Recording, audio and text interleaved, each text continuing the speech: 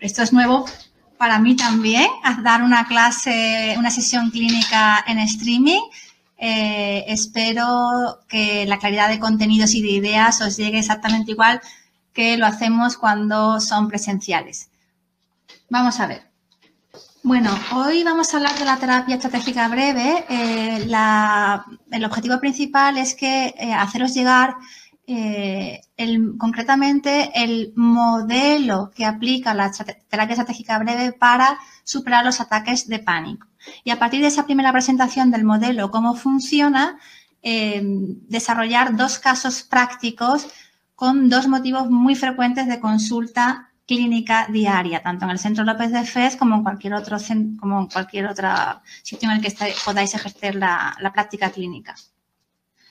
Vamos allá. Bueno, como siempre me gusta empezar todas las sesiones con algún mensaje positivo. La vida merece la pena ser vivida también para las personas que sufren un ataque de pánico.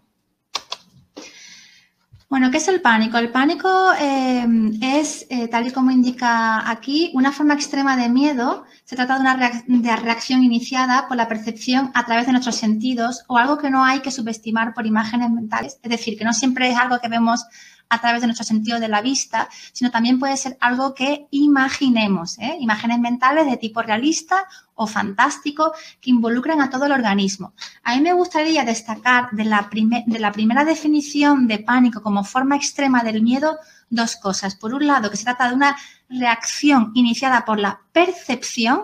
La percepción va a tener una importancia fundamental en el análisis del modelo, la palabra percepción, así como que puede ser a través de algo real o de algo imaginado.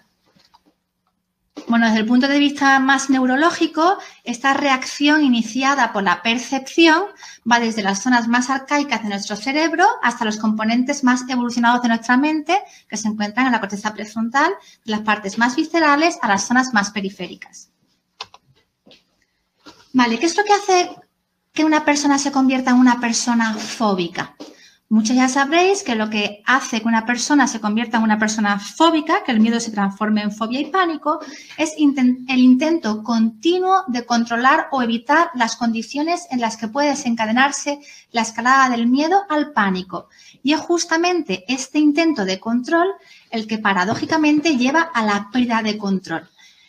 En esta diapositiva empezamos ya a entrar en contacto con conceptos fundamentales de la terapia estratégica breve, como por ejemplo la palabra, la palabra perdón, paradójica, así como eh, la palabra, mm, eh, eh, perdón, la contraposición entre miedo e intento del control del miedo como proceso paradójico que hace que la persona se transforme en persona fóbica. Quedaros con la palabra paradoja, que es eh, una de las palabras que caracteriza la terapia estratégica breve.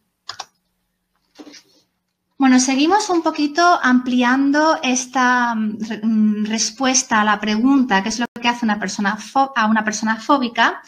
Y eh, bueno, tal y como hemos comentado en la diapositiva anterior, en el intento de controlar las propias reacciones, la persona dirige continuamente la propia atención a la escucha de parámetros fisiológicos que indican la subida del nivel de ansiedad, ¿vale? Latido cardíaco, hiperventilación, ritmo respiratorio, sentido del equilibrio, lucidez mental, náuseas, hormigueos, etc. Vale. ¿Qué es lo que pasa entonces? Que dado que todas estas son funciones espontáneas del organismo, es decir, el latido del corazón, la respiración, etcétera, tratar de controlar racionalmente estas expresiones espontáneas del organismo altera su expresión natural. La persona percibe entonces esta alteración y se asusta.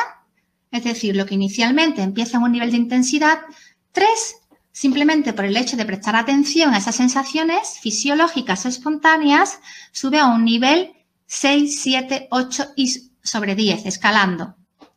La persona percibe esta alteración y se asusta, tal y como hemos comentado antes, y los parámetros fisiológicos se alteran de nuevo. El miedo aumenta y si este círculo vicioso de interacciones disfuncionales entre mente y cuerpo no se interrumpe, se llega al ataque de pánico. Se retroalimenta una con otra, una con otra, más sensación, más atención, más atención, más sensación. Intentando además controlar eh, el miedo, paradójicamente aumentamos el miedo, tal y como habíamos comentado en la diapositiva anterior. Bueno, eh, aquí he traído eh, algunos ejemplos muy sencillos que podéis hacer luego más tarde. por ejemplo, al intentar subir por una escalera peldaño a peldaño y tratar de regularizar el latido cardíaco, mientras lo haces, tanto subir por una escalera peldaño a peldaño, intentas subirlo poquito a poco, o tratar de regularizar el ritmo, el latido cardíaco, pues em, sucede que en ese intento de regulación, por ejemplo, del latido cardíaco, cada vez sentirás que el corazón late más fuerte porque le estás prestando más atención. Vale. Entonces, bueno, podemos definir de nuevo el ataque de pánico para que quede muy claro como una escalada, escalada, vamos subiendo, paradójica de sensaciones de miedo e intentos de control que en su interacción acaban por engañar a la mente, que entonces se construye ella a sí misma los monstruos de los que tiene miedo. Vale.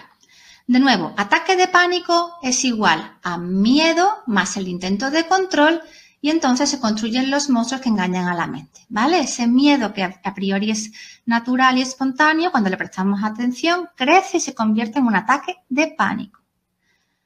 Es sencillo, de entender conceptualmente. Vale, ¿cuáles son las dos consecuencias conductuales típicas de una persona que sufre un ataque de pánico partiendo de este modelo de análisis que utiliza la terapia estratégica breve? Pues son dos. Por un lado, la tendencia a evitar la situación asociada al ataque de pánico. Obviamente, una persona eh, que está eh, sana mentalmente tiende a alejarse de aquello que eh, le produce malestar. Entonces, lo que hace es evitar todas las situaciones a las que asocia el ataque de pánico. Y por otro lado, la segunda consecuencia típica es la búsqueda de apoyo y protección constante por parte de otras personas para poder afrontar su vida diaria, porque muchas de las situaciones de su vida cotidiana se han quedado impregnadas por el ataque de pánico y para poder llevarla a cabo necesita apoyarse en personas. Bueno, eh, ¿qué le pasa a una persona que tiende a evitar la situación asociada al ataque de pánico? Bueno, pues que el mismo, me interesa sobre todo esta diapositiva, el segundo párrafo, o sea, el mismo hecho de haber evitado la situación temida, al evitarla, confirmo, confirmo su peligrosidad, es decir, cronifico, cronifico la asociación de la situación al ataque de pánico, aumentando el miedo para la siguiente vez. Me meto de nuevo en otro círculo vicioso. Y la segunda consecuencia conductual típica ¿vale? Es que las personas que sufren ataques de pánico, como hemos comentado antes, tienden a apoyarse en personas de su confianza, de las cuales dependen para desarrollar su vida eh, diaria, ¿vale? Delegan a los demás la responsabilidad de ayudarle, que intervienen enseguida en el caso de un ataque de pánico o le tranquilizan con su presencia para prevenir la activación del fenómeno. Entonces, estas personas, como es fácilmente inferible, se convierten en personas dependientes, Lo veremos más adelante luego en un, ejemplo de caso práctico. Eh, muchas personas cuando superan con el modelo de terapia estratégica breve el ataque de pánico y eh, dejan de depender de esa persona de confianza que muchas veces es su pareja, se producen rupturas de, de, relación que simplemente estaban sostenidas por esa relación de dependencia, pero no por un vínculo afectivo sexual sano y adecuado. Vale. Em, el modelo circular de la persistencia del síndrome de pánico. Vale. Tenemos entonces que yo percibo, ¿vale? Intento, intento mm, mm, controlar las reacciones, pido ayuda, ¿vale? Las arriba tenemos lo que lo inicia, ¿vale? Intento, intento de control de las propias reacciones y eso me lleva a pedir ayuda y volverme una persona dependiente y a em, llevar a cabo estrategias de evitación de las situaciones asociadas al pánico, ¿vale? Ambas cronifican el problema. Vale, y diremos, oye, pero vamos a ver, ¿cómo es posible si lo que se, mm, por qué se generaliza lo que no funciona? Es decir, si la persona eh, se da cuenta de que apoyándose en otras personas y desarrollando conductas de dependencia y además eh, llevando a cabo eh, conductas de evitación, realmente tampoco solucionó mi problema y no solo no lo soluciono, sino que cada vez tengo más miedo y mis ataques de pánico son más graves, ¿cómo es posible que, que eso se automatice de esa forma. Bueno, pues lo que induce a la persona a generalizar las estrategias del control racional de las propias reacciones, ¿vale? De la evitación y de la solicitud de ayuda, es el hecho de que inicialmente funcionaron bien. Es decir, la primera vez que la persona llevó a cabo una conducta de evitación o que se apoyó en alguien para superar el ataque de pánico, funcionó bien y su eficacia, en primer término, se transforma después, gracias a su reiterada repetición, en lo contrario. Es como si la primera vez eh, hiciera un efecto sello, se fija, se automatiza y eh, la persona lo repite inconscientemente, aunque paradójicamente, palabra clave de la terapia estratégica breve, no funcione. Vale. ¿Qué otros factores están, eh, mm, digamos, eh, haciendo que se generalice lo que no funciona? Pues quien vive, desde el punto de vista conceptual, las personas que viven en el miedo rara vez consiguen tener una visión estratégica a largo plazo. ¿vale? Eh, todos sabemos que el miedo es la mayor discapacidad que existe, de forma que me impide tener una visión a medio y largo plazo, de no te, me, actúo en modo miedo, tengo visión túnel, visión estrecha, no soy capaz de ver a medio largo plazo. Y entonces eh, las personas que viven en el miedo, pues combaten en el momento, tapando continuamente los fallos que se abren en su capacidad de controlarse a sí misma y a su mundo circundante, ¿vale? El mundo que le rodea. Bueno, algunas cositas más sobre la generalización de lo que no funciona. Bueno, ya hemos comentado, ¿vale? La mente reaccionando rápidamente al miedo, utiliza aquello que ya ha funcionado otras veces para reducirlo, aunque paradójicamente no funcione, ¿vale? Y se quedan fijadas por su momentánea eficacia, ¿vale? Hay una cosa que a mí me parece muy interesante y muy curiosa, te piden que si porfa puedes dejar un poquito más tiempo las diapositivas para que les dé tiempo a leerlas. Ay, perdón. Eh, ellos lo están escuchando en este momento todos, ¿no? Eh, voy a hacer una pregunta. Eh, ¿Desde qué diapositiva os gustaría que le retrocediera para verla un poquito más despacio? Si tienen dudas, ¿quieres que pregunte? Sí, sí.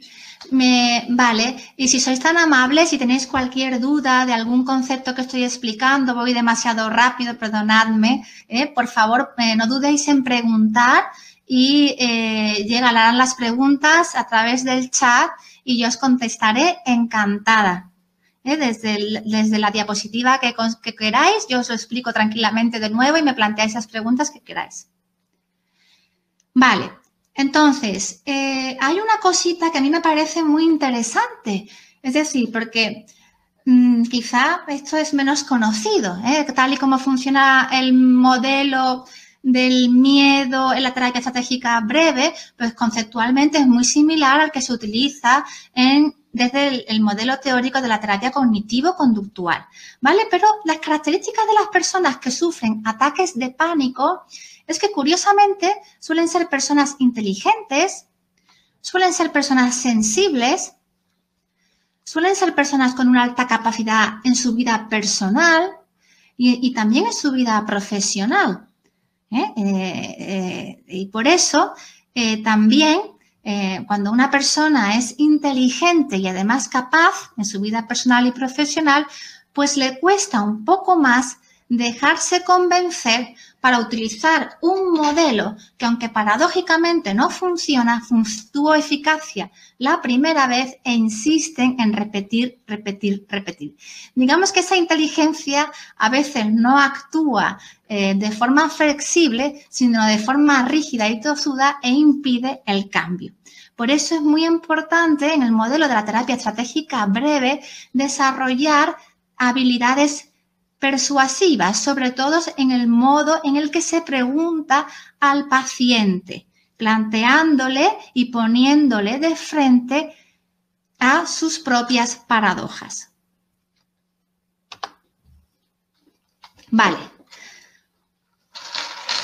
Una de las, una de las em, em, técnicas ¿eh? de, buque insignia de la terapia estratégica breve para superar los ataques de pánico es poner frente al miedo un miedo mayor. Veámoslo con un ejemplo. Si me encuentro en medio de mucha gente y empiezo a sentirme mal y tengo el instinto de huir, puedo pensar que os voy a dejar unos segundos. Es decir, si yo estoy aquí planteando una técnica donde voy a hacer que el paciente se ponga delante de un miedo mayor, ¿qué pensáis que sigue a los puntos suspensivos? Vamos a descubrirlo. Si escapo, el miedo aumentará y se transformará en pánico.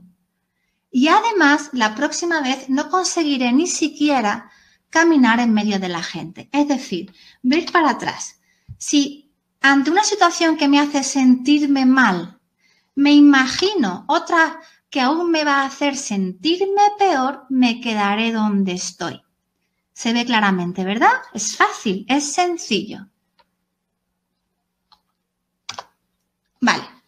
Esta reorientación de las propias percepciones en dirección a un miedo mayor respecto al del momento que está viviendo la persona permite normalmente afrontar la situación y demostrarse a uno mismo que se es capaz de superar esta dificultad.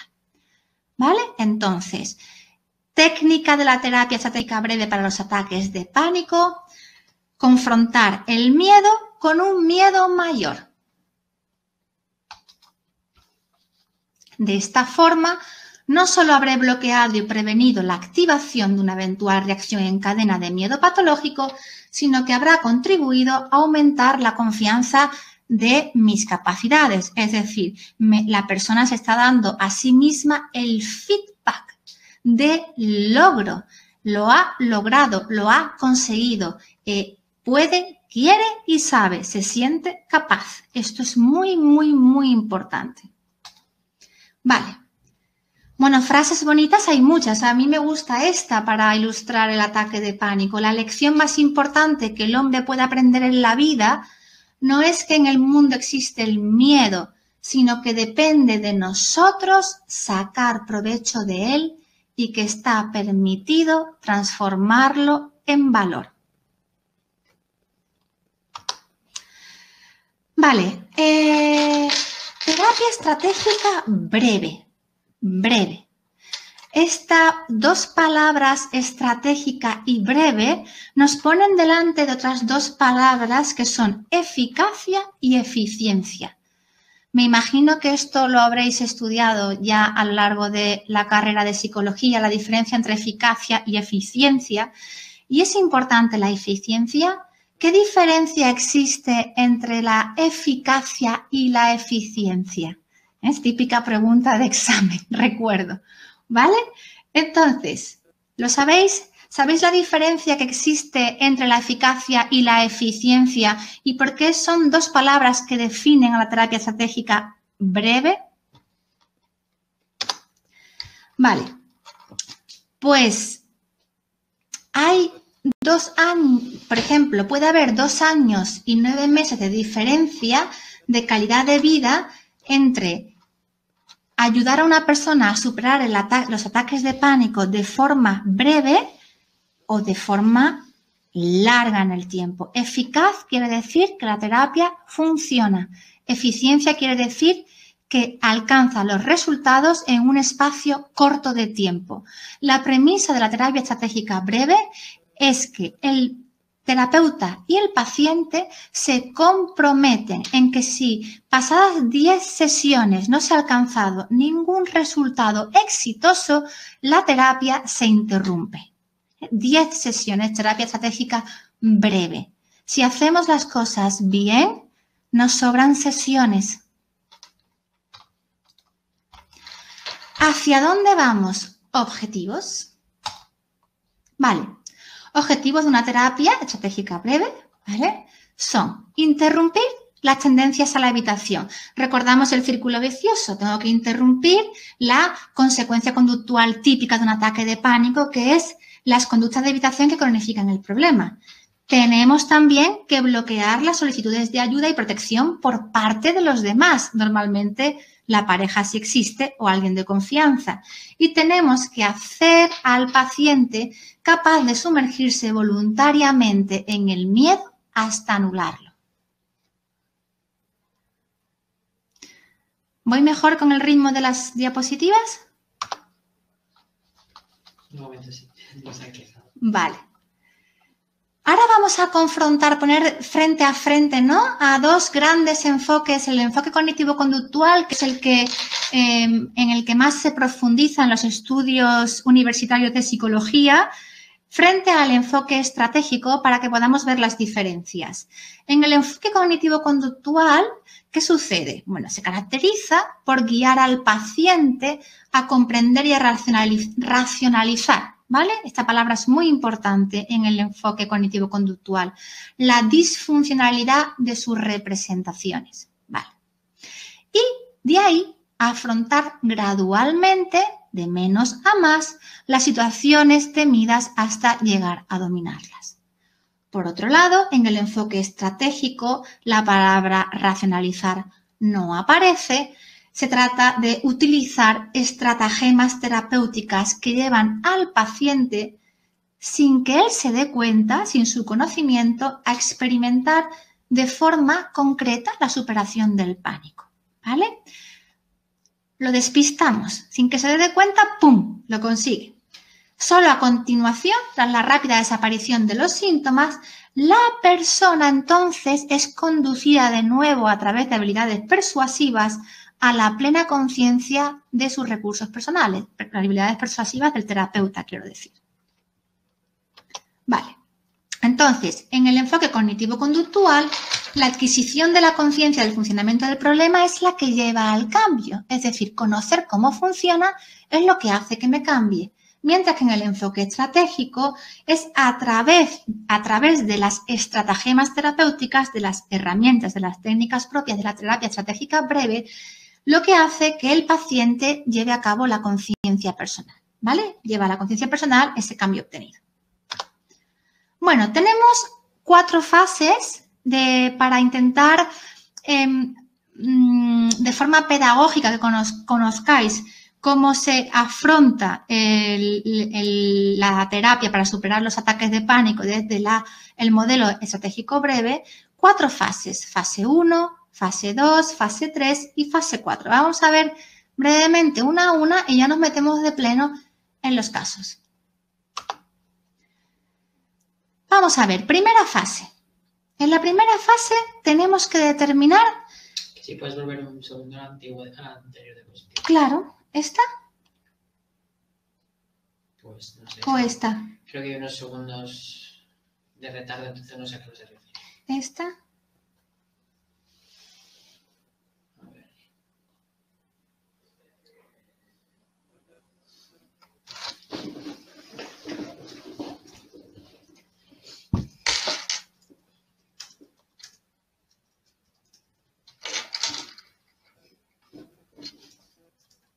La siguiente. No, no, la anterior. Es que claro, como hay delay... Ahí, vale, creo que...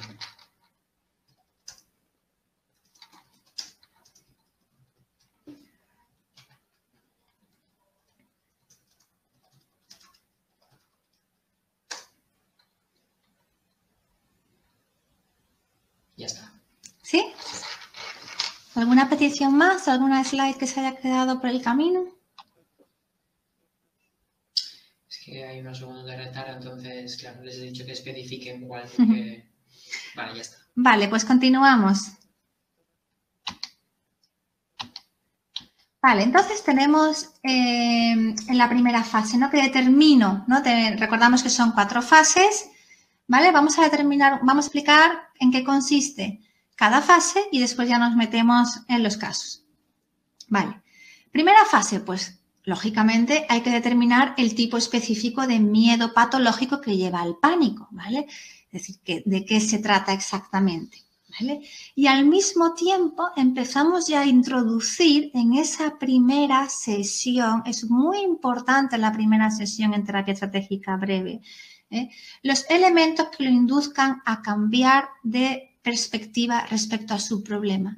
Tenemos que empezar ya a utilizar estratagemas desde la primera sesión. Lo veremos con el caso. Segunda fase.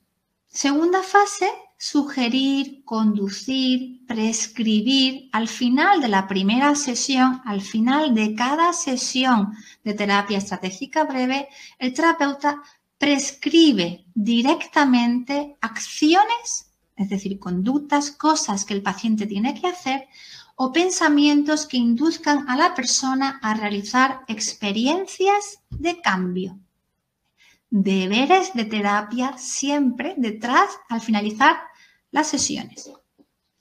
En otras palabras, aplicar las estratagemas terapéuticas indicadas para hacer que la persona interrumpa sus soluciones intentadas disfuncionales, es decir, el control que hace perder el control que hemos visto al principio, cuando hemos explicado el círculo vicioso del miedo, la evitación y la demanda de ayuda en sus diversas formas.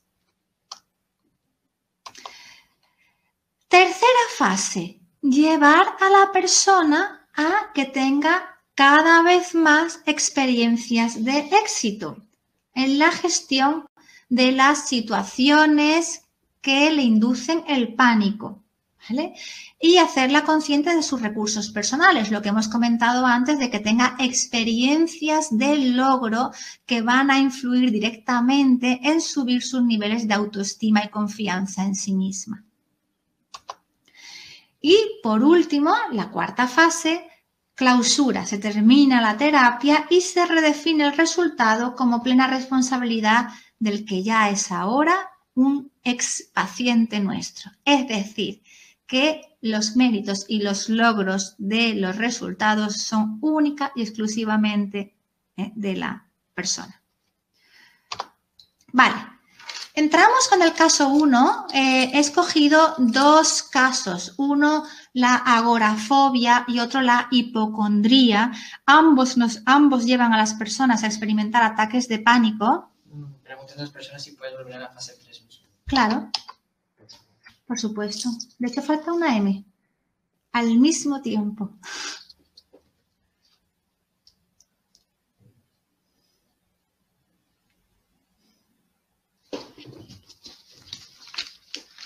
preguntar si la presentación no se puede ver en algún sitio. No supongo que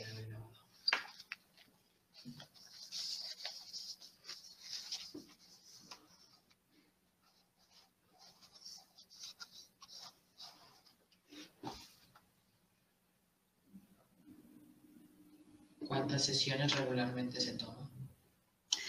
Máximo 10 pero muchas veces, tal y como mm, me indican por aquí que habéis preguntado cuántas sesiones eh, suelen eh, desarrollarse una terapia estratégica breve, el máximo y el compromiso que se adquiere con el paciente es que si en 10 no se han conseguido resultados exitosos, se interrumpe. En la práctica clínica y cuando ya ah, tenemos experiencia, suelen sobrar sesiones. Eh, cinco sesiones, tres sesiones, eh, depende también de la habilidad del terapeuta para utilizar las estratagemas y del punto eh, del pánico en el que el paciente venga a visitarnos. Pero bueno, entre 5 y 10 es más que suficiente.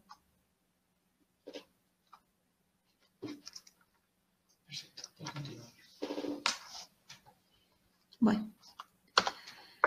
Vale, estamos entonces en el caso 1 de agorafobia, que os estaba comentando que había...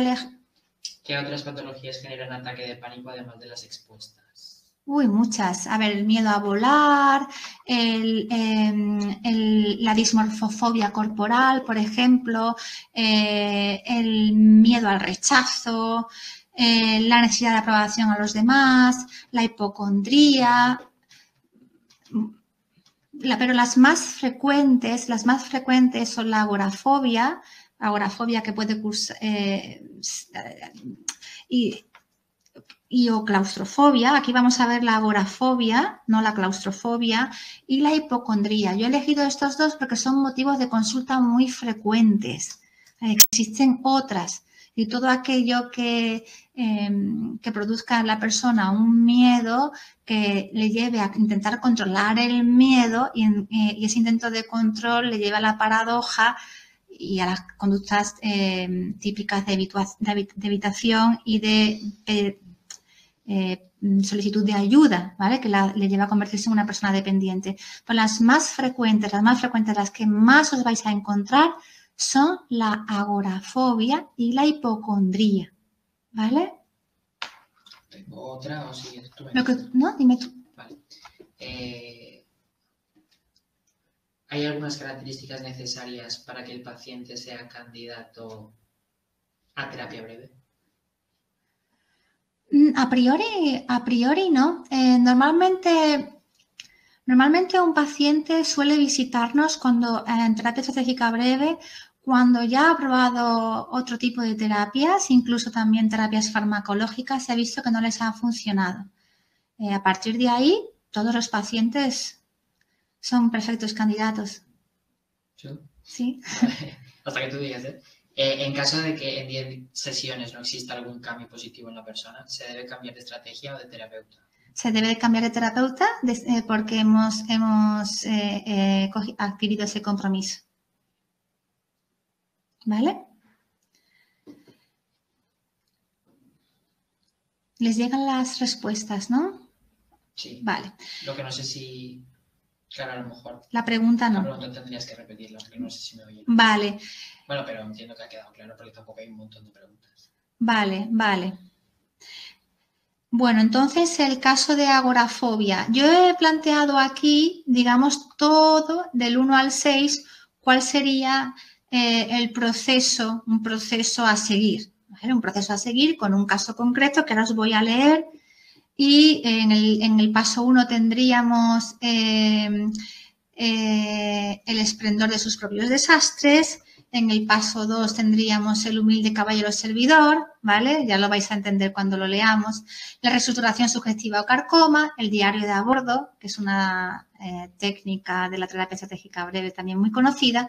Y luego el entrenamiento paradójico en nivel 1 y nivel 2. Voy a leer el caso y así eh, podemos seguirlo todos mucho mejor.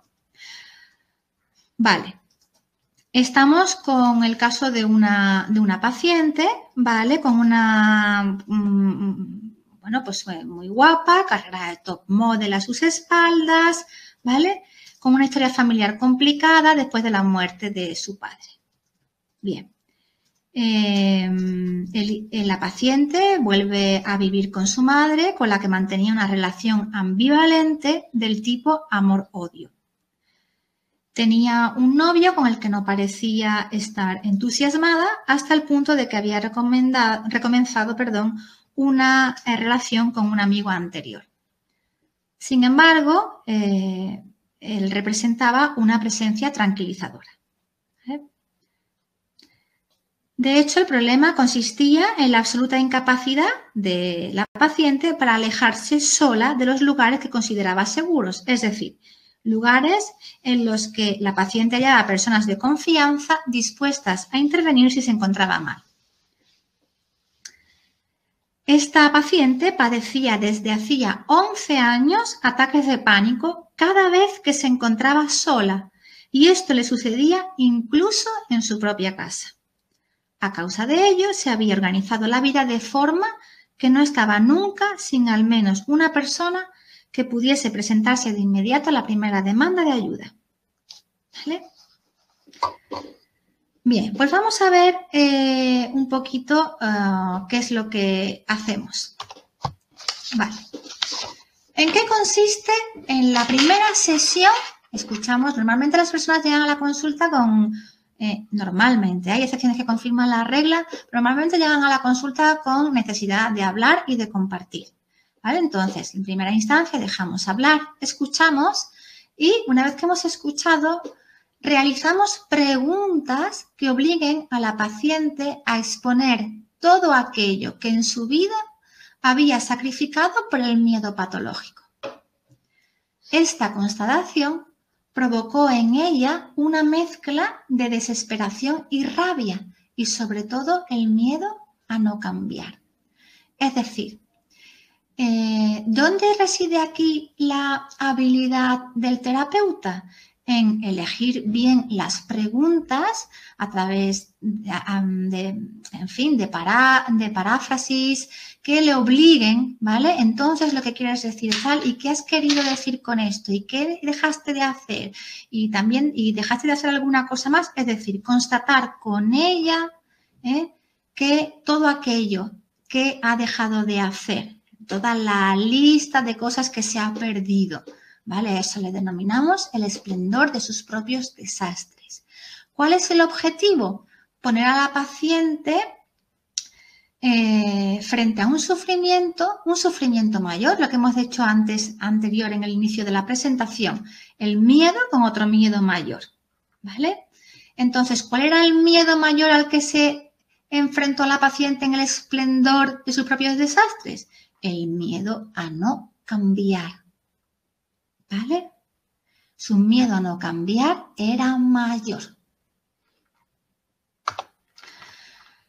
Segundo, vale, el humilde caballero servidor, ¿qué pasó? Pues mira, eh, tal y como he, respondido antes a una pregunta que me habéis planteado, pues suelen llegar a nosotros después de haber intentado pues otro tipo de terapias, otro tipo de profesionales y eh, a veces sucede que los terapeutas, bueno, pues se transforman de forma equivocada ¿eh? en una especie de amistad, ¿vale? El terapeuta se había convertido en uno de sus fieles acompañantes auxiliadores, es decir, que recurrían a su primera eh, demanda, petición de ayuda y había dejado de ser terapeuta, por lo tanto se había convertido en un bastón. Y a través de la verbalización que la propia paciente hizo de esta situación, es la propia paciente que nos cuenta que su último terapeuta eh, se había convertido en, un amigo, entonces es cuando le ponemos delante de... Eh, hacemos observar, tal y como pone aquí, lo voy a leer que lo expresa muy bien, hacer observar a la paciente a través de una argumentación aparentemente racional que su tentativa de gestionar el temor a quedarse sola era justamente lo que acaba por alimentar su síndrome de pánico. Es decir, precisamente esa evitación cronifica el problema y al mismo tiempo se ha convertido en una persona dependiente. ¿Vale? Este es el número 2. Vale, en el número 3 tenemos la reestructuración sugestiva. ¿Qué quiere decir la reestructuración sugestiva? Quiere decir lo siguiente, se trata de una forma elaborada y formalizada gracias a una prolongada experimentación. Es verdad que la práctica hace eh, al experto. Dime. ¿Qué quiere decir aparentemente racional?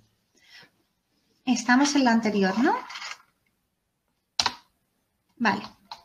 Me indican que estáis preguntando... Sí que, me oyen, me han dicho que me oyen. ¿Te oye? Ah, perfecto. Muy bien. Vale, me, comentan que estáis preguntando qué es aparentemente racional. Vale. Em, aparentemente racional quiere decir que está que es la razón. Bueno, pues lo que, lo que podemos eh, analizar y razonar, que, es, que está basada en el hilo argumental que la paciente nos cuenta. ¿vale? Que no utilizamos datos que no se han planteado en la sesión, que nos basamos en las, eh, para realizar las preguntas, nos basamos en datos que la persona nos ha planteado y los presentamos de una forma más o menos lógica, que tienen sentido, que tienen coherencia, ¿vale? Aquí no utilizamos eh, mm, eh, otro tipo de estrategia, sino una pregunta mm, racional, ¿eh? con carga de razón. ¿Ha quedado claro? Basada en el dato, basada en los datos que tenemos, porque la paciente nos los, lo ha presentado y la llevamos a que sea ella la que concluya le vamos preguntando hasta que ella sea la que concluya que esas evitaciones son las que alimentan su propio síndrome de pánico. ¿Ha quedado claro? ¿Sí?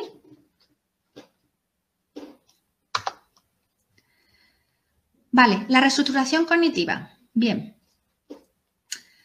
Vale. Se trata de una forma, estábamos en, eh, bueno, una reestructuración es una nueva elaboración ¿eh? de una forma de ver una situación. Sugestiva quiere decir que se hace de forma suave, persuasiva, sugerente, ¿vale? El objetivo, quizás se entiende mejor aquí, si es que se induce la percepción. No se cuando sugestiva quiere decir que no se prescribe ni se ordena, sino que se induce que la paciente actúe de forma diferente, sino que considere los efectos de sus acciones. Vamos, vamos a, mira, discúlpame, ¿me acercas? Sí, claro. bolso? Sí, un, un, libro que hay dentro del bolso. No, bueno, déjalo, déjalo, déjalo. Sí, déjalo. Vale, se trata de una forma, eh, es decir, no, no, disculpadme la pequeña interrupción, seguimos. Tercero, la reestructuración, eh, estamos en la asociación subjetiva. Reestructurar quiere decir volver a estructurar una forma en la que la paciente veía el miedo. Se trata de una forma elaborada y formalizada gracias a una prolongada experimentación de responder al miedo frente al miedo. Es decir, el miedo mayor de un futuro empeoramiento contra el miedo actual a afrontar determinadas situaciones. ¿Vale? Le inducimos la percepción. Es decir, no le prescribimos ni se lo ordenamos. Le decimos que Em, actúe de forma diferente. Ahora lo vamos a ver con el diario de a bordo que viene en la, en la siguiente diapositiva, qué es lo que va a hacer de forma diferente. Quisiera un ejemplo, quisiera de reestructuración sugestiva para que lo entendáis mejor. Quisiera, le diríamos, si nosotros fuéramos el terapeuta, textualmente podríamos decirle algo como esto.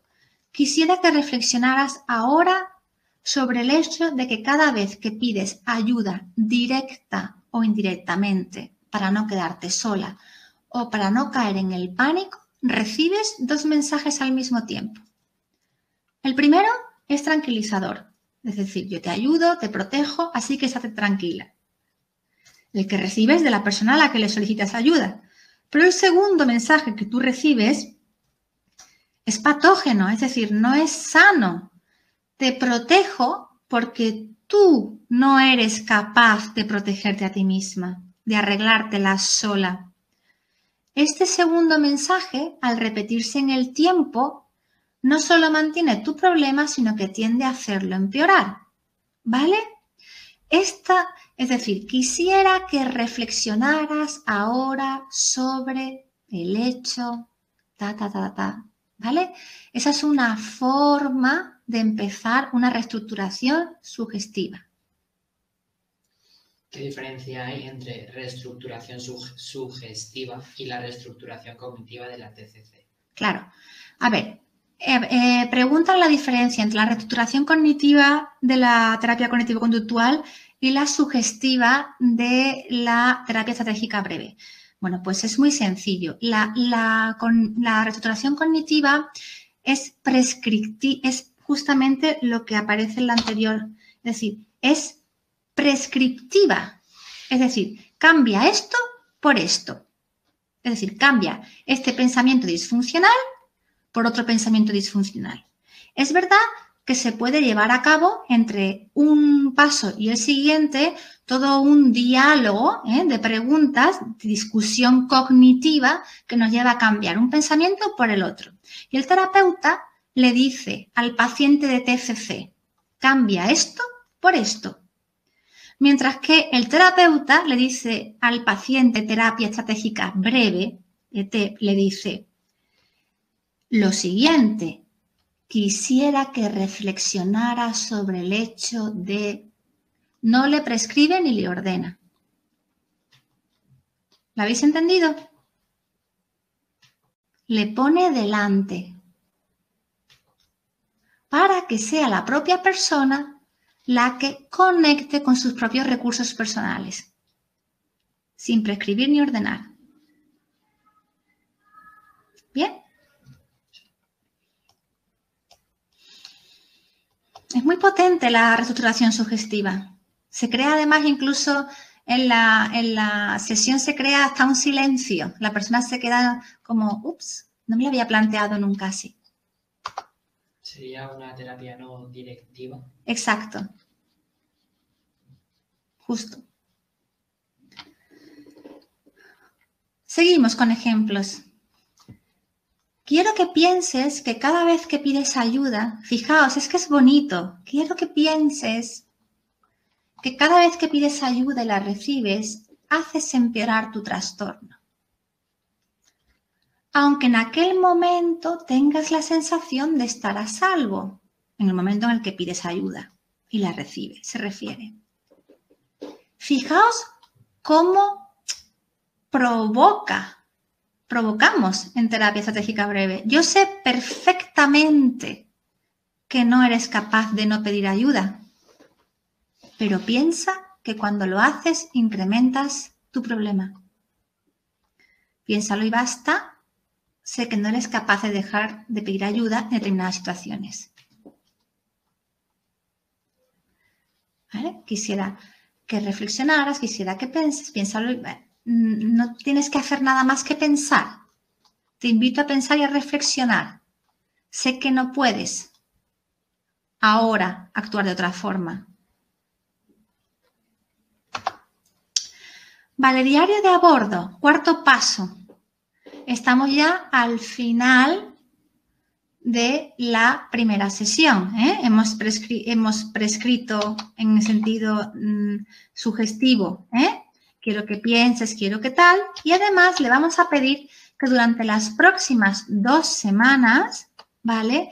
Debe detallar la paciente las situaciones críticas que viva, anotándolas de inmediato. Aquí la parte este en el, del tiempo, o sea, de inmediato es muy importante.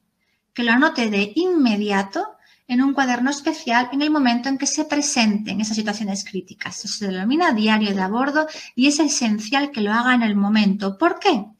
Porque el objetivo es lograr que durante la activación del ataque, justo en ese momento, la persona desplace su atención del intento de controlarlo a la compilación de los conceptos que se contemplan en el diario. Bueno, a lo que está escribiendo en el diario. ¿De acuerdo? Por eso hay que hacerlo en el momento del ataque para cortar el círculo vicioso de la atención que sube el nivel de pánico.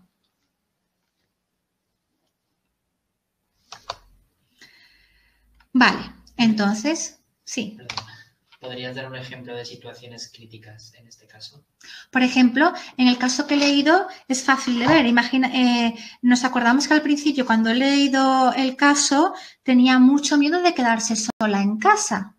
Pues eh, una situación crítica sería una situación en que nuestra paciente se queda sola en casa porque la persona con la que convive, este amigo suyo, ¿vale? Que es esa humilde caballero servidor, eh, además del terapeuta, es otra persona que le ofrece ayuda cada vez que la necesita, ha salido, ha salido, aunque no haya sido por un periodo largo de tiempo, ya se ha quedado sola en casa. Esa es una situación claramente crítica para nuestra paciente. ¿Vale? Eh, para las fobias se puede usar ese tipo de terapia, por ejemplo, fobia a las serpientes. Sí, Sí. Lo que la fobia a las serpientes es algo que vivas en una región del planeta donde sea probable encontrarte serpientes de forma frecuente o te veas obligado, obligado o no obligado, que tu entorno de trabajo sea en un lugar en el que tengas posibilidad de encontrarte a menudo serpientes, es un tipo de fobia que, eh, es eh, poco frecuente porque normalmente las personas vivimos ya en ciudades alejadas, ciudades, pueblos, poblaciones alejadas de las serpientes. ¿Vale? Esto es mucho más común. Este tipo de problema os lo vais a encontrar mucho más a menudo que una fobia a las serpientes. Vale. Entonces... ¿Cuánto dura una sesión? Pues mira, eh, esa es muy buena pregunta. No tiene, no tiene una... Mm, no tiene una duración determinada, digamos, tienen que durar tanto. Va a depender también del perfil de paciente que tengamos. Es decir, por ejemplo, pacientes que sean em, desafiantes en el sentido de, pacientes que desafían al terapeuta eh, porque ya han pasado por muchos profesionales y distintos estilos de terapia.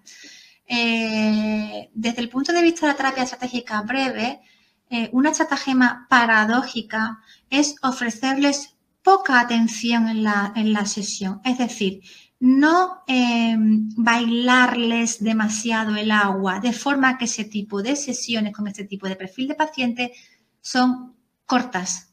¿eh? En otro tipo de paciente que no sea, que tenga estas características, la, la, sesión puede ser más larga, pero no más larga de 45 minutos, mm, no más, máximo. ¿Vale? También la primera sesión suele ser un poquito más extensa porque estamos conociendo el caso, estamos valorando el caso, estamos estableciendo la relación terapéutica, estamos eh, mm, eh, valorando muchas, todo el, tipo de miedo, ¿eh? que hemos dicho en la fase 1, el tipo de miedo que provoca el ataque de pánico, etcétera, es un poquito más extensa. Las sesiones de seguimiento, pues va a depender también de lo que nos plantee el paciente, pero normalmente suelen ser un poquito más cortas, la más larga la primera, no más de 45 minutos en general en ninguna de ellas. Bien. Seguimos objetivo de la agorafobia, o sea, del diario de a bordo, perdón, es desviar justo la atención del ataque en el momento, por eso es importante hacerlo de inmediato. Vale, entonces hemos dicho en esa primera sesión, la persona, la paciente nos lo cuenta, se lleva esas dos eh, prescripciones de quisiera que reflexionara sobre tal, quisiera que se reflexionara sobre tal y el diario de a bordo. A los 15 días viene a vernos y nos indica ¿eh? sorprendida los logros que ha alcanzado. Es decir, que efectivamente ponerse a escribir en el diario de a bordo justo cuando tenía el ataque de pánico ha conseguido los resultados que esperábamos, es decir, ha desviado su atención y ha roto el círculo vicioso del miedo y también se ha dado cuenta de que eh, confrontando su miedo actual a un miedo mayor ha encontrado una motivación para el logro. ¿Vale? Entonces nos vamos a encontrar idealmente en una segunda sesión al final de la cual le vamos a prescribir de nuevo. Desde hoy hasta que nos volvamos a ver dentro de 15 días, fijaos, retírate cada día a la misma hora a una habitación en la que puedas estar sola. Programa un despertador para que suene al cabo de media hora. Baja la luz, ponte cómoda y voluntaria y deliberadamente evoca en tu mente tus peores fantasías. ¿Cómo nos quedaríamos si nos dijeran eso a nosotros? Nos daría un poquito ¿eh? de, de miedo. Es decir, durante 15 días ¿es? ella va a provocarse deliberadamente ¿eh? durante media hora, 30 minutos. Vale. Piensa que estás sola, lejos de tus lugares seguros, que estás a punto de perder el control de ti misma y que tu corazón empieza a latir desordenadamente y déjate llevar. Es decir, vive intensamente un ataque de pánico al día durante media hora y durante 15 días. Cuando suena el despertador se terminó. Sería como una exposición por imaginación. Sí, Exacto. Eh, muy, buena, muy buen apunte. Es que comparten técnicas. La cognitivo-conductual y la estratégica breve comparten algunas técnicas que son muy similares, si no exactas. Así es. ¿Vale? Entonces, son, esta sería la pauta. Si voy muy rápido, por favor, lo comentáis. Y el vuelve a los 15 días de nuevo. Esto también es una, un apunte interesante. Normalmente en, terapia estratégica breve se pauta cada 15 días, ¿vale? Se considera que eh, siempre habrá esto, tiene que confirmar la regla, pero 15 días es un tiempo que nos permite consolidar la prescripción. Dime. ¿Qué se podría hacer si no se logra controlar la reacción luego de la media hora? Pues hay que seguir practicando, pero para, al día siguiente. No se vuelve a hacer más. ¿Vale? Pero tened en cuenta que eh, es una muy buena pregunta también, ¿eh? Pero tened, en cuenta que eh, la paciente viene de 15 días de apuntar en el diario de abordo. Digamos que durante 15 días ya ha comprobado que no pasa nada. Por lo tanto, ya está preparada para poder hacer el, entrenamiento paradójico nivel 1 sin que se desmadre, por decirlo de alguna forma coloquial. ¿De acuerdo? Es decir, no, no entramos directamente en el entrenamiento paradójico. Previamente hay un diario de abordo y unas reestructuraciones sugestivas que nos permiten entrar en el entrenamiento paradójico de una forma más segura, más controlada. ¿Bien?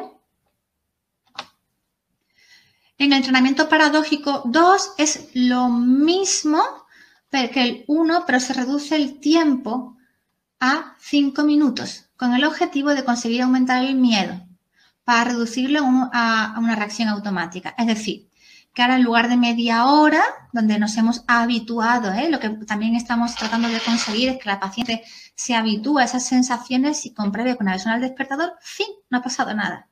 Ahora se trata de que sea automático, cinco minutos. Y con este fin, varias veces al día, a ciertos horarios prefijados, en lugar de una sola vez media hora, son cinco minutos varias veces al día, por ejemplo, mañana, tarde y noche, sin aislarse, ¿eh? donde más o menos se encuentra la paciente, mira el reloj, evoca sus fantasmas y los hace desaparecer. Dime. Lucía comenta que le ayuda a demostrarse a sí misma que puede enfrentar ese miedo. Luego Cristina dice, curiosamente la persona no experimenta miedo, se denomina la peor fantasía. Y Eso es. Pablo pregunta, ¿en el diario de la persona de. Lo que, lo que siente en ese momento en específico. Vale, eh, ¿cómo dices que se llama? El, Es que ha habido dos comentarios y una pregunta. Vale, sí, la peor fantasía, lo que comenta Cristina, creo recordar, así es. Y, luego la última pregunta en el diario de a bordo es eh, muy parecido al registro de la TCC, es decir, la situación eh, que me ha pasado, dónde me ha pasado, a qué hora, qué sentido, qué he pensado son las columnas típicas clásicas de, un registro. Se suele hacer a modo de eh, cuadro con columnas. ¿Te ha pasado que les dé mucho miedo y se resistan a hacer esa práctica?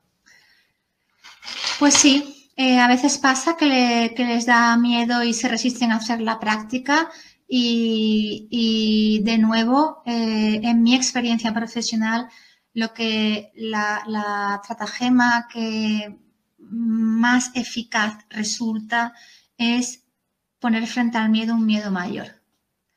De forma sugestiva, de forma comprensiva, de forma empática, pero hacerlo, hacerlo las veces que sea necesaria hasta que la persona se dé cuenta de que la alternativa en la que está eh, la alternativa que, le espera es peor que la alternativa a la que le estamos empujando a avanzar.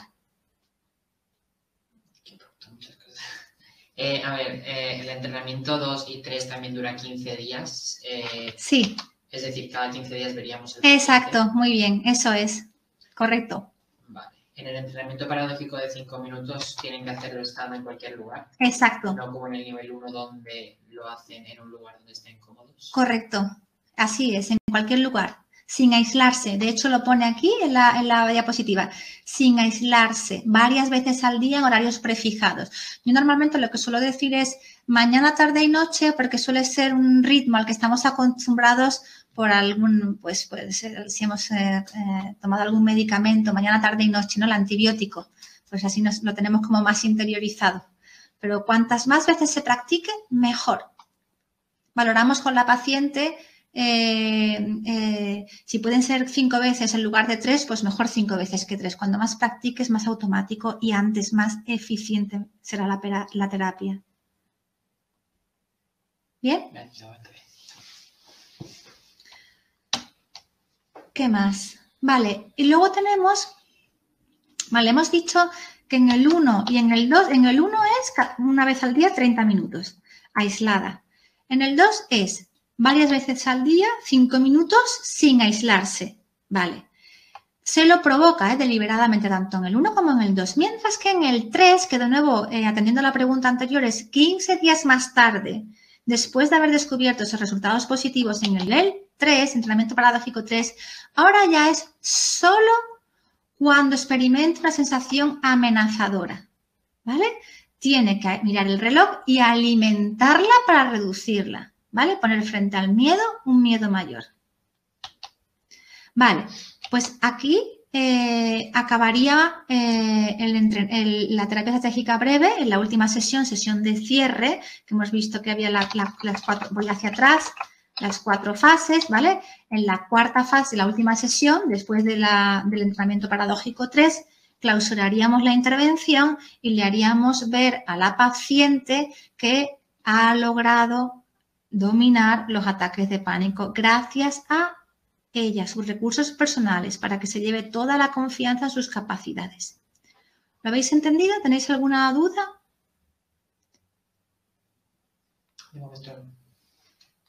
como hay un poquito de retraso, igual te preguntaré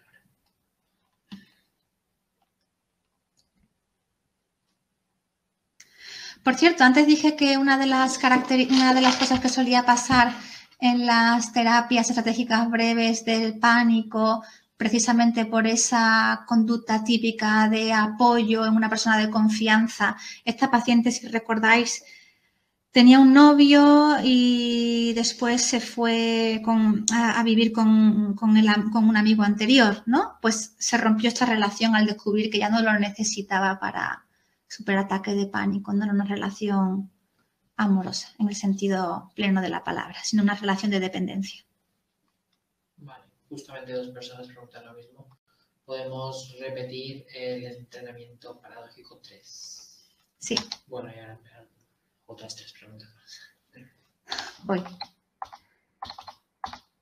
A ver, el entrenamiento paradójico 3, lo leemos, ¿vale? Es idem, entrenamiento paradójico anterior, que es el 2, ¿vale? Y que a su vez es como el 1, solamente cambia el tiempo. Pero ahora es solo en el 3, solo cada vez que experimento una sensación amenazadora. ¿Vale? Ahora es, ella hace vida normal y solamente cuando experimente síntomas de pánico, entonces para un momentito, mira el reloj y alimenta la sensación para reducirla. Es decir, utilizamos la, el miedo, confrontamos su miedo con el miedo mayor. Se pone en lo que antes ha comentado una em, persona a través del chat, en la peor fantasía. Se pone en la peor fantasía y paradójicamente baja el miedo. Vale un comentario de María dice, alimentarla con más miedo del mismo tipo o el miedo mayor que había generado en la primera sesión. El miedo mayor que había generado en la primera sesión. Buena pregunta. Ángela dice, es decir, ahí van cuatro, es que claro, a lo mejor se refiere a otra cosa ya, pero Es decir, ahí van cuatro sesiones. ¿Qué pasaría con el resto? ¿Se puede repetir en caso de no lograrse en 15 días hacer uno de los entrenamientos o el diario? Claro, eh, eh, se, puede repetir, por eso he comentado antes que es bastante probable que, sean muchas menos sesiones, es decir, no se trata de detenerlas hasta agotar a las 10 sesiones, eh, pero si hay pacientes que a lo mejor necesitan quedarse más, en, mm, más semanas en el 1, más semanas en el 2, más semanas en el 3, más semanas en el diario de a bordo, ¿eh? Eso ya va a depender. Pero normalmente la evolución suele ser bastante ágil y tal y como he comentado antes, cinco, cuatro o cinco sesiones es suficiente. Os sorprenderéis. Comenta, ¿podría colocar ejemplos con una persona con fobia a salir, salir lejos de su casa o el trabajo, por ejemplo? ¿Eh, ¿Perdón? ¿Podrías colocar ejemplos con una persona con fobia salir, salir lejos de su casa o, al trabajo, por ejemplo, a la playa? Eh, a ver, es que eso ya hay muchos ejemplos, es lo mismo, es decir, salir a la playa, es, a ver, es exactamente igual que lo que le pasa a esta paciente, es decir, lo único que cambia es el contenido con el que tú entrenas, pero las técnicas, o sea, digamos que la forma de hacerlo es la misma, pero tú cuando vas a la playa te alejas de tu zona segura, es lo que le pasaba a esta paciente. Eh, habíamos leído, ¿no? Eh, mm, mm, mm. su problema consistía en la absoluta incapacidad para alejarse sola de los lugares que consideraba seguros. Por lo tanto, las personas que tienen fobia a ir a la playa, ¿no? ¿Has dicho? Es, fobia a ir a un lugar que no considera seguro, que es la playa. Da igual que se llame playa, que se llame montaña o que se llame eh, mm, eh, eh, un pueblo, una ciudad, una calle, un lugar. La, forma de abordarlo es la misma. Lo que cambia es el contenido de los pensamientos con los que tú entrenas tu peor fantasía, el contenido de tu peor fantasía, pero la forma de abordarlo es la misma. ¿Vale? Si no, podemos establecer mil categorías de fobias a alejarnos de lugares que nos hacen sentir seguros. Elena pregunta, ¿qué pasa en el caso contrario cuando para evitar el pánico se aísla? No, e, eso es una conducta de evitación. Eh, a ver, eh, en el caso contrario, no, no es el caso contrario, es que el aislamiento es una conducta típica del ataque de pánico, no es un caso contrario. Es una característica que justamente lo que estamos haciendo es solucionarla, no es un caso contrario. El aislamiento es parte de las características del ataque de pánico. ¿Cómo vamos de tiempo? Nos quedan 40 minutos. ¿Sí? ¿Sí? Eh, yo, por hacer el caso de la, de la hipocondría. Pues sí, sí, a ver, quedando, si quieres estar vale. y les decimos que las preguntas para el Sí, eh, ahora si les, si, si les parece bien, para que vieran no solamente un caso, ya había preparado otro caso más, que era el de la hipocondría, como he comentado que es frecuente, y así ya con el tiempo que nos sobre, pues planteamos las preguntas. Vale. Dime. Sí. Eh, Dalila pregunta, ¿habría que tomar en cuenta si el sujeto es hipertenso con problemas cardiológicos o, problemas cardiológicos, por ejemplo? A ver, eh, mm, habría que tenerlo en cuenta desde luego. Y entonces eh, modularíamos las prescripciones, pero normalmente eh, la hipertensión o problemas eh, cardiovasculares o de corazón tienen una medicación acorde ¿eh? que, no va a interferir. Aquí de lo que se trata es de no tomar ansiolíticos para poder desarrollar una vida normal y para dejar de evitar y depender. Esto sí. Pero si tenemos una persona que tiene problemas de hipertensión, está tomando una medicación para regularlos o problemas de corazón, para, eh, pues no, van a interferir a priori y siempre vamos a acordar y negociar con la persona el nivel de intensidad de esa peor fantasía. Pero no suelen, no suelen interferir. Son problemas distintos. Vale, y ya, pues la última. En cuanto a lo de usar un miedo mayor, ¿usaría solo el miedo de no cambiar o podríamos usar cualquier otro miedo que hayamos evaluado? Hombre, si hemos evaluado, que lo hayamos evaluado, pero sobre todo, eh, esa es una buena pregunta, pero no solamente que nosotros lo hayamos evaluado. La terapia estratégica breve, aparte de evaluarlo nosotros, eh, eh, tenemos que hacerle ver al paciente que ese miedo existe poniéndolo delante del esplendor de sus desastres del uno. Es decir, si lo hemos evaluado pero no hemos logrado hacerle ver al paciente que ese miedo le, pone delante, o sea, que ese es un miedo mayor al miedo eh, del ataque de pánico, no nos va a servir.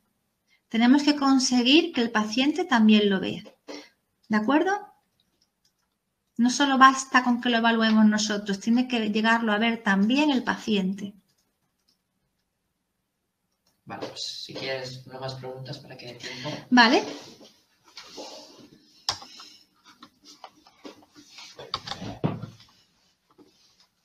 Bien, vamos entonces con otro caso que es de hipocondría, que también es muy común, la hipocondría, la consulta, paciente resistente. Hay que tener mucha paciencia aquí. Vale. Eh, pues esto se trata de un, en este caso, un, hombre, ¿vale? Un paciente de mediana edad que viene acompañado de su mujer, ¿vale? Y tal y como sucede con todos los pacientes de hipocondría, eh, se sienta y pues comienza a contarnos eh, su terrible miedo a enfermar de distintas cosas. ¿vale? Además nos lo cuenta eh, en cascada, como que nos, nos vomitando los problemas así, uno tras de otro. ¿vale? En este caso, además, resulta que la profesión del paciente que se dedica es un paciente, pues un paciente de perfil técnico, ingeniero, racional. Hemos dicho antes que solían ser personas inteligentes, ¿os acordáis? Capaces en su vida personal y profesional, pues este es un caso típico. También la anterior, la chica, ¿eh? había desarrollado una carrera de modelo con éxito. Explicó su fobia a poder enfermar a, a causa de un tumor, ya que su trabajo de supervisor lo llevaba a frecuentar hospitales e institutos, bueno, mm, centros de salud en los que había enfermos de cáncer, ¿vale? El miedo a enfermar de cáncer es una muy común en la hipocondría. Como todos los hipocondríacos, se daba cuenta de que su fobia era realmente irracional, aunque estaba dominado por ella. Y esta lo obligaba a continuos controles médicos, análisis clínicos, eh, búsqueda de eventuales síntomas precoces, buscándose en el espejo manchitas y cositas. Vale. Por desgracia, una vez confirmado el éxito negativo de las observaciones diagnósticas y tras haber sido tranquilizado por el médico, su paz duraba muy poco. A la mínima señal de su organismo se disparaba el pánico y toda la secuencia volvía a comenzar. Para más curiosidad, resulta que la, mujer era psicóloga. Intentaba sin éxito hacerlo razonar sobre lo absurdo de sus miedos. Bien, pero acababa siempre por ser una fiel consoladora, acompañante en las procesiones diagnósticas de médico en médico. Bien. Habían intentado terapia farmacológica sin éxito. Bien. Efectos adversos de los psicofármacos y al cabo de cierto tiempo interrumpía el uso. En relación con las psicoterapias, que también había probado unas cuantas, explicó que no le habían gustado los profesionales que hasta entonces había encontrado, ya que a las pocas sesiones se daba cuenta regularmente de que estaba frente a personas que no eran capaces de gestionar su problema. Entonces, como podéis ver, eh, este es el tipo de paciente que os he comentado antes, donde las sesiones no son muy largas para no bailar el agua, porque ya ellos em, vienen ya reacios, resistentes, ¿vale? Eh, em, eh, darle palmaditas en la espalda, lo que va a generar es el efecto contrario de adherencia a la terapia. ¿Vale?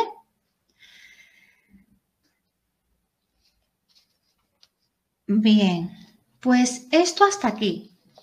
Entonces, la hipocondría rebelde, tenemos aquí de nuevo una diapositiva donde yo os he planteado, igual que en el anterior caso de la agorafobia, todo el curso, ¿vale? Del 1 al 8 en el, primer, en el primer paso comprometemos al paciente con lo que os he comentado varias veces a lo largo de la, de la sesión de, oye, 10 sesiones máximo, la conjura del silencio, inspecciones ante el espejo, oratorias hipocondriacas vespertinas, reducción inspecciones y oratoria vespertina, actitud descalificadora, nueva reducción de los tiempos de inspecciones y oratoria vespertina y provocar con una pregunta que sea propio del paciente quien dé las explicaciones. Bueno, como lo vamos a ir viendo uno a uno, no hay problema. Vale, comprometer al paciente. Bueno, como este es un paciente peliagudo y resistente al cambio, por todo lo que os he leído y os he comentado, tenemos que establecer de forma explícita el compromiso del paciente en su responsabilidad de colaborar en la terapia. Eh, recalcando ¿vale? Me falta el recalcando la declaración, es decir, que la forma nuestra de trabajar, en nuestra praxis, un límite máximo de 10 sesiones. Si en ese plazo no se den éxitos concretos, se interrumpe el tratamiento. Esto ya lo hemos repetido varias veces, ¿vale? Entonces, esto sí que me interesa que lo veáis. El objetivo, creándole la ilusión de controlar la eficacia de la terapia, ¿eh? como, que le damos el, el, poder, es decir, de evaluarlo durante 10 sesiones para que él sienta que tiene algo que decir, en realidad lo que le estamos poniendo es en condiciones de no poder rechazar ninguna de las prescripciones que, que le hagamos a lo largo de las sesiones, aunque le puedan parecer banales, sin importancia o ilógicas. Así nos ganamos su compromiso. Vale, Segundo, estamos en la primera sesión todo el rato, ¿vale? La conjura del silencio en torno a su problema. Durante los próximos 15 días tenía que evitar acudir a ningún médico, ¿vale? Así como evitar hablar de su problema con todo el mundo, incluso los médicos hasta la siguiente sesión.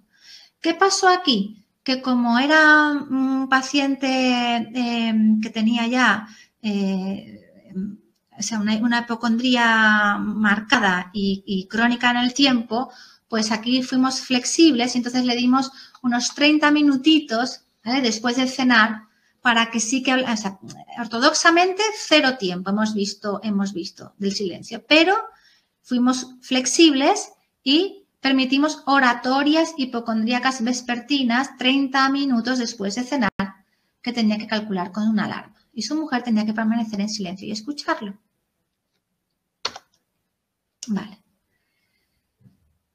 Hasta aquí la primera sesión. Después de esos 15 días, ¿eh? después de estos 15 días del punto 2 y el 3, viene a la consulta, dice que bien, que paradójicamente el hecho de poder hablar 30 minutos eh, le, ha servido de, de, suficiente y le pautamos tres veces, y las inspecciones ante el espejo. Es decir, que tres veces al día, mañana, tarde y noche, igual que con la agorofobia en el entrenamiento paradójico 2 eran tres veces al día, ¿vale? Aquí en el en el en ante el espejo tres veces al día, mañana, tarde y noche, tiene que ir al baño y delante del espejo con papel y lápiz de nuevo, diario de a bordo, ¿vale? Proceder a una atenta inspección de todas las sensaciones que provenían del propio organismo signos claros de que fuera una patología emergente, especificando bien el síntoma y el tipo de enfermedad. ¿Vale? Es decir, digamos como que le damos credibilidad, veracidad a esos síntomas que él puede detectar en esas inspecciones ante el espejo.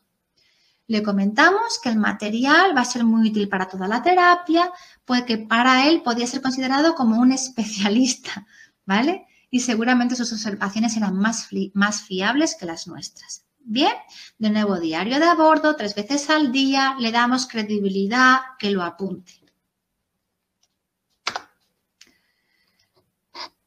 Bueno, ¿y cómo pensáis que se quedan el paciente al oír esas extrañas indicaciones? Estupefactos, ¿no? Vale. Vale.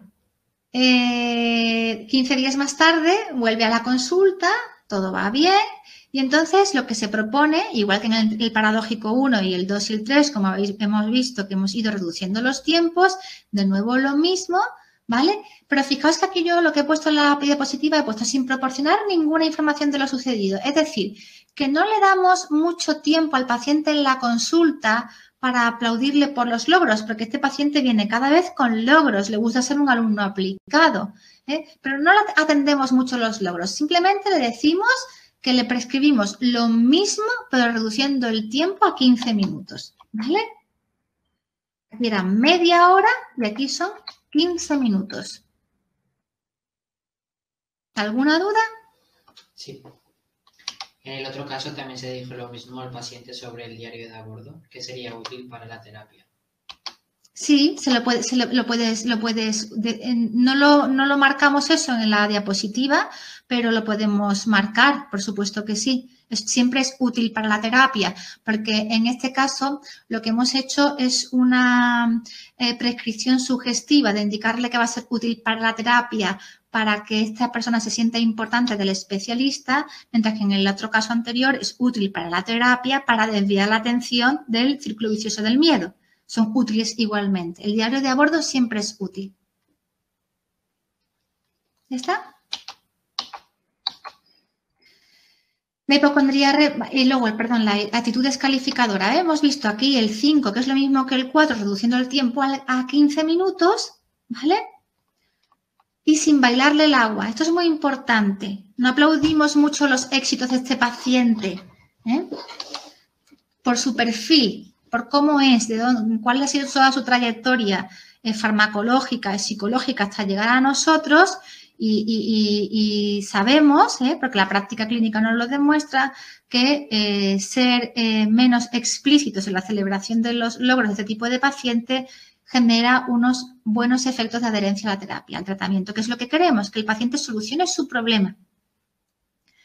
Actitudes calificadoras, esto que os estoy diciendo, es, no sería una, un punto 6, lo he puesto 6 porque lo tengo que marcar como, eh, como parte de, la, de, de los de las pasos, pero es transversal, es una, a, todos los pasos. La actitud calificadora es una deliberada elección terapéutica orientada a producir aún más colaboración por parte de una persona que es descalificante en relación a la terapia, ¿vale?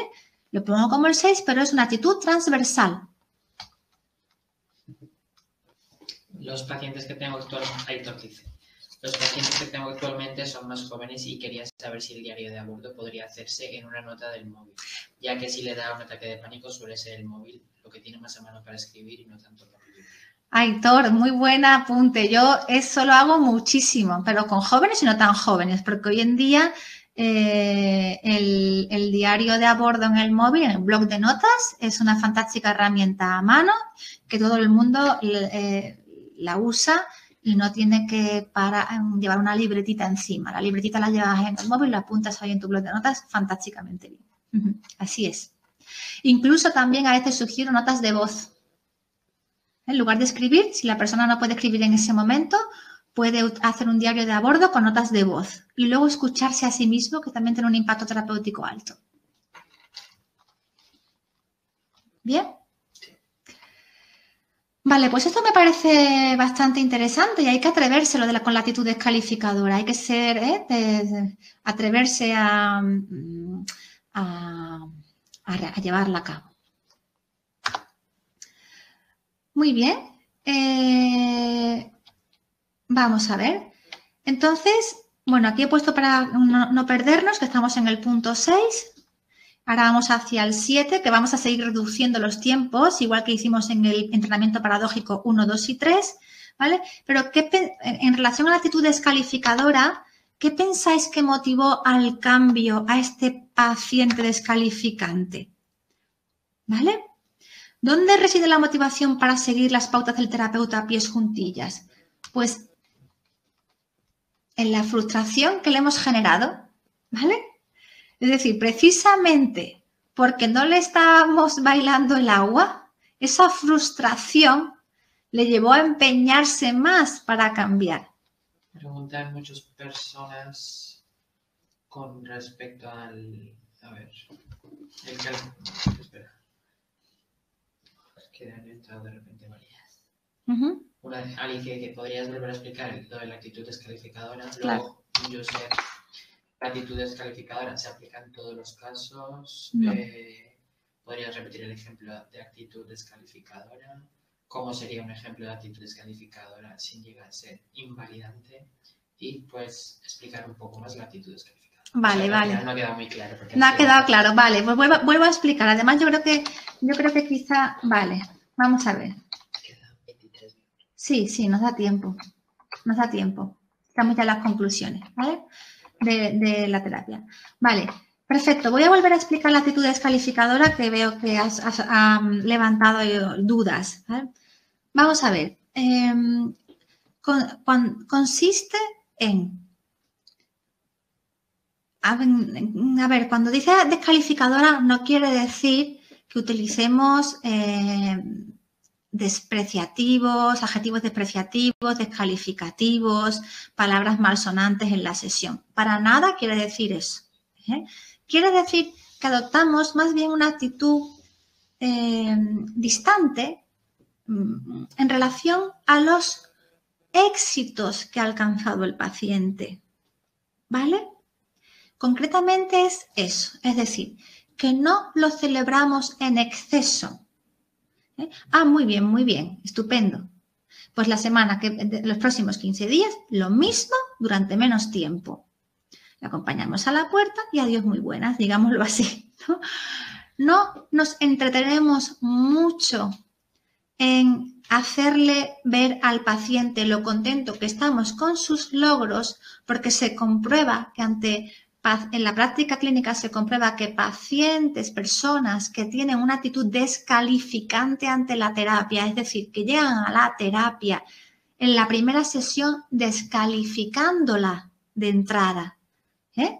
Acordaos que esta persona había venido de innumerables tratamientos farmacológicos, médicos, y que ninguno y que esta paciente, la persona, este ingeniero, consideraba que ninguno estaba a la altura, que ninguno era capaz de gestionar su problema. Entonces, en la primera sesión, después de esos 15 días en los que se prescribe las primeras pautas, viene con logros. Actitud descalificadora es mostrarse distante frío en relación a los logros alcanzados, de forma que generamos en el paciente la frustración necesaria que le motiva al cambio y que garantiza la adherencia a la terapia. ¿Ha quedado claro ahora? ¿Esto no afecta a la relación terapéutica? Asumimos riesgos. De hecho, mirad, Se eh, afecta la relación terapéutica. Fijaos lo que pone aquí en esta diapositiva. No siempre los pacientes han de amar a sus terapeutas para ser curados eficazmente. ¿Cuál es nuestro objetivo? Que se cure, que supere la hipocondría. A veces, con determinados tipos de pacientes, tenemos que asumir riesgos para alcanzar nuestro objetivo de ayudar a curar, a superar el problema. Y el objetivo no es establecer una relación de vínculo, que ya sé que lo sabemos todos, que no tenemos que ser amigos, etc. Pero inconscientemente puede ser que tengamos ese miedo a perder. No. ¿Vale? Yo os digo que ante este tipo de pacientes de, con actitudes calificadoras, esto funciona mejor. Podéis probarlo y comprobarlo vosotros mismos. En este caso no utilizamos un miedo superior a su miedo para buscar el cambio. No, aquí no. Aquí no. Vale. Creo que, creo que es importante aclarar que la actitud del terapeuta se adapta al SPR del paciente. Ante un SPR obsesivo no se actúa igual que ante un SPR fóbico, por ejemplo. Eh, claro, pero es que eso no solamente aplica a, fóbicos y obsesivos, sino que aplica a, todos los, a todos las, mm, los, los, problemas que presentan las personas en la consulta. No nos, no nos comportamos igual con unas personas que con otras. Por eso aquí, tenga obsesión o tenga fobia, lo que, lo que, de lo que estamos hablando no es de si tiene obsesión o tiene fobia, sino de si tiene una actitud descalificante ante la terapia, bien sea su problema obsesivo o bien sea su problema fóbico. ¿Y esto no puede producir el efecto contrario y desmotivarlo más? No lo produce la frustración si es una persona inteligente. Y, y ten en cuenta que si este tipo de persona, a ver, llega a la consulta pensando que nadie le va a solucionar el problema. Si nosotros nos mostramos muy colaborativos, él se va a considerar de nuevo que está por encima del profesional. Tiene que sentir al menos que está de igual a igual.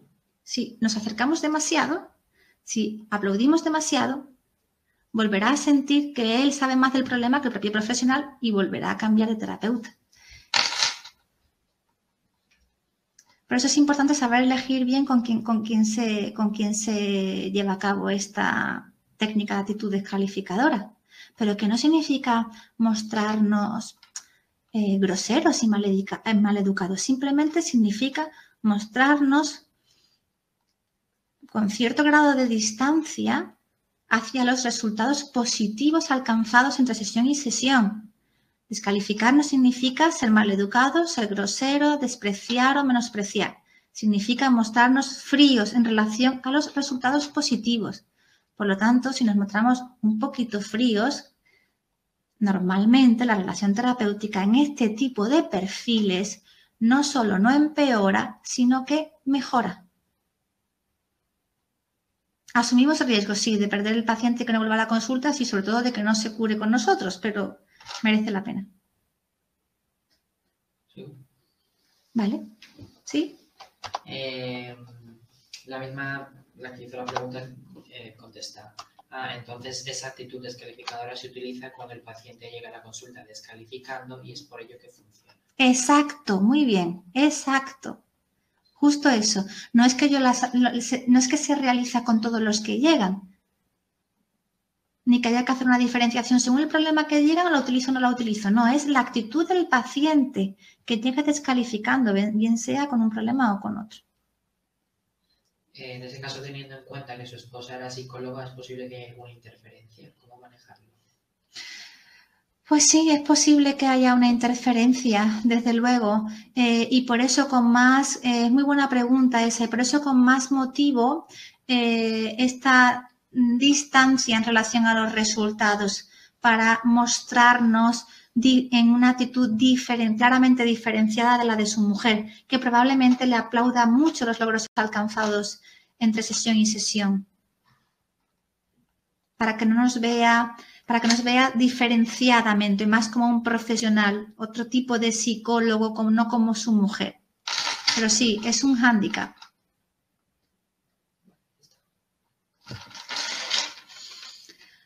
Conclusiones. Cada uno de nosotros, conclusiones positivas.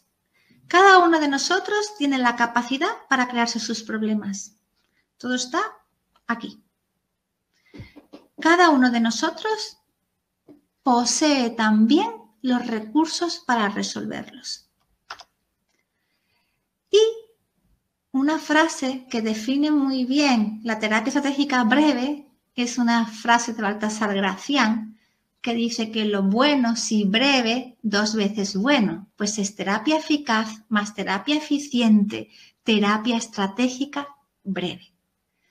Espero que os haya gustado, que os haya resultado útil, que os haya introducido algunos conceptos que seguro que se desarrollan más y mejor en el máster de, de terapias de tercera generación de ISEP.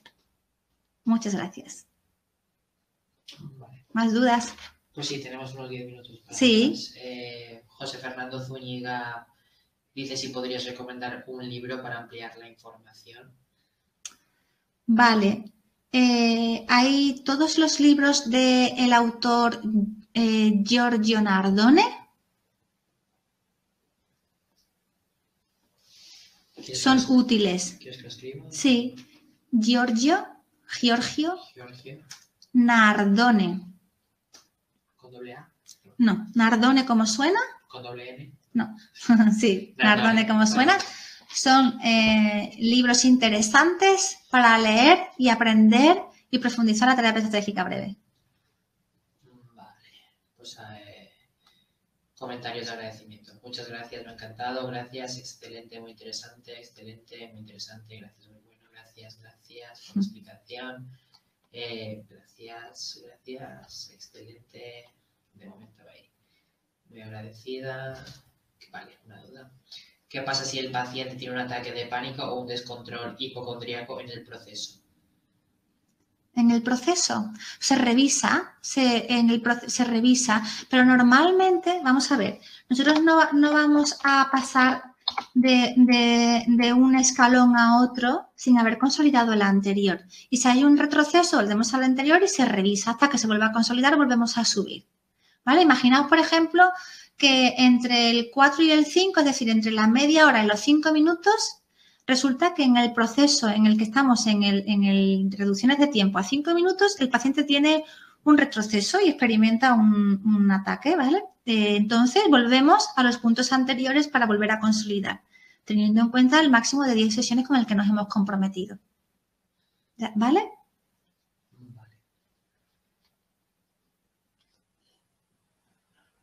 Puedes dejar el correo de la docente por aquí. Tu correo. Vale. Ah, luego se lo pasas. Sí, luego si quieres lo escribo. Sí. Bueno, os lo escribo porque... A guion López, A guion medio López, López, arroba arroba, C de casa, o de Oviedo, P de Pamplona, cop.es, colegio oficial de psicólogos.es. Luego, una duda que se me queda pendiente de antes. Sí. que Le dije que para el final. Si la persona nos comenta que su miedo mayor es algo que también tiene que ver con la agorafobia, ¿no se estaría potenciando el miedo? Quiero decir, hay que buscar algo que no tenga nada que ver. Sí, pero siempre existe. También muy buena pregunta. Pues es, pues es, es, eso siempre existe. Es decir, y tienes que buscarlo con preguntas y ¿qué es lo peor? Cuando te conteste, si no, si no lo has alcanzado, insistir. ¿Y qué es lo peor que podría pasar si eso ¿Y qué es lo peor que podría pasar? ¿Vale? Llegar hasta la quinta esencia de su miedo mayor. También muy buena pregunta. Vale. ¿El registro se mantiene todo proceso? Bueno, es un poco la pregunta. ¿Cómo se maneja durante la sesión si la persona tiene ataque de pánico por evocar?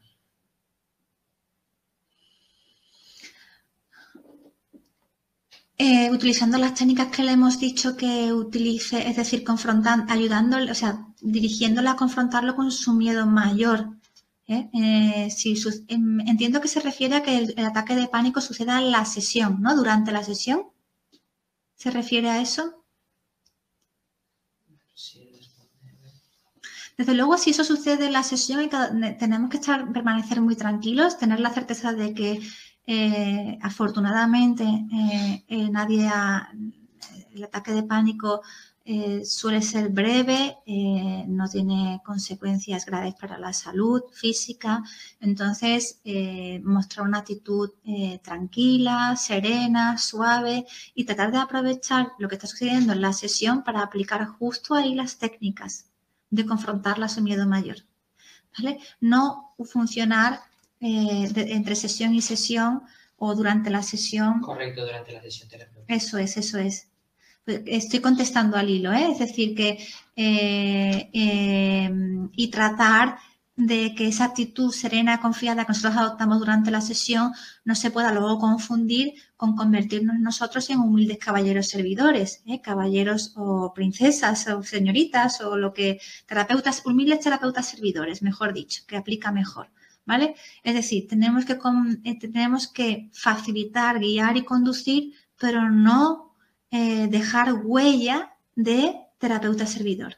¿De acuerdo? Esto es importante y entre sesiones, eh, ante las, eh, si nos llaman, me mandan un WhatsApp de ayuda urgente, mi recomendación es esperar a contestar. Contestar sí, pero demorar la respuesta con intención terapéutica. Se hace de esta forma aposta, adrede, porque es lo que más va a curar y ayudar al paciente. Muchos comentarios de agradecimiento que les ha gustado y que han aprendido mucho. Y a ver si hay alguna más. Si la persona cono- conoce la TED y cómo funciona, sería igual de efectiva. Mm, tampoco será una terapia.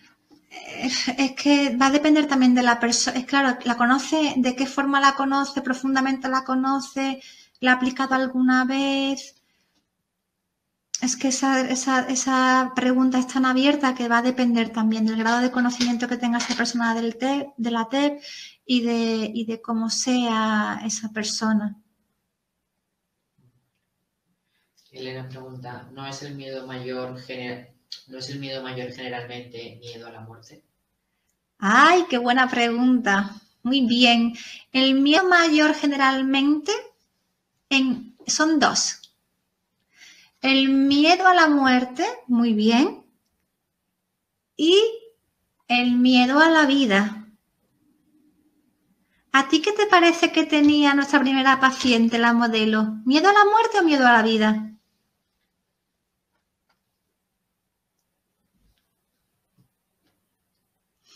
Muy buena pregunta. Vale. Eh, Emily pregunta, ¿qué pasa cuando el paciente está fijado en repetir los síntomas físicos que siente a diario, como presión en el pecho, palpitaciones, entre otros? No atiende a las intervenciones del terapeuta, sino que solo repite los síntomas. Hay que insistir persuasivamente hasta lograrlo. A lo que hemos comentado eh, en, sesión, claro, eso habría que, ya es el, el bajar, ¿no? Muy al detalle, pero es establecer preguntas de reestructuración sugestiva una y otra vez para sacar al paciente de la repetición, porque si está repitiendo la, atención a los síntomas, está metido en el círculo vicioso, o sea que sigue haciendo conductas de evitación y sigue dependiendo de sus personas de, de apoyo. Por lo tanto, tenemos que insistir en la reestructuración sugestiva y en el diario de a bordo para poder lograr el entrenamiento paradójico. Vale con respecto a anterior. Es el arte de preguntar, ¿eh? En terapia estratégica breve hay que desarrollar mucho, mucho, mucho el arte de preguntar. Y para eso eh, los libros que he comentado antes del autor que he indicado están muy bien. Con respecto al anterior, eh, comentan varios que miedo a la vida y una pregunta es, ¿cómo así miedo a la vida? ¿A qué, te refieres? Uy, que la vida da mucho miedo. la vida plantea muchas dificultades. Eh, para vivir hay que ser un valiente. Es fácil tener miedo a la vida. Si a un paciente no le funciona el proceso y se interrumpe, ¿puede iniciar la misma estrategia con otro profesional? Sí, si lo desea. Siempre desde la libertad del paciente. ¿Por qué no? Claro que sí. Vale. Pues de momento no tengo más pues nada, nos despedimos entonces. Un placer a todos desde ISET Valencia.